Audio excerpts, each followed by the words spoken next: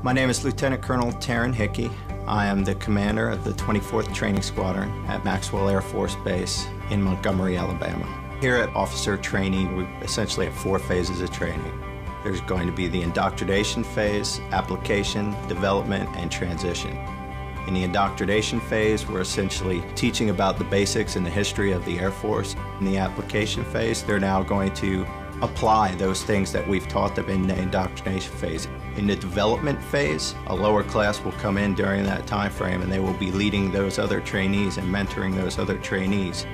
In the transition phase of training, we're trying to shift gears and get them prepared for the operational Air Force so that when they go on to their new jobs, they know the level of attention to detail is correct for the operational Air Force. Two, three, Typical day in the life of a trainee is wake up, 0500, and they're out PTing by 515 classes throughout the day, leadership exercises. The structured part of the day goes until 1700. After that, they still have academic prep time or studying, so they are busy from 5 a.m. until 11 o'clock at night.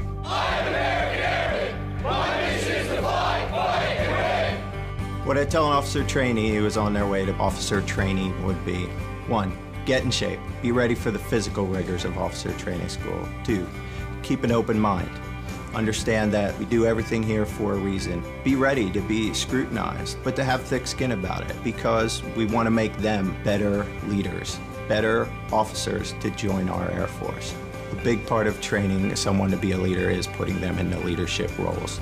A controlled environment where we can allow them to fail with little ramifications other than being able to look back and learn from that failure. At officer training, we see a huge difference in our trainees from the day one when they arrive and when we graduate them.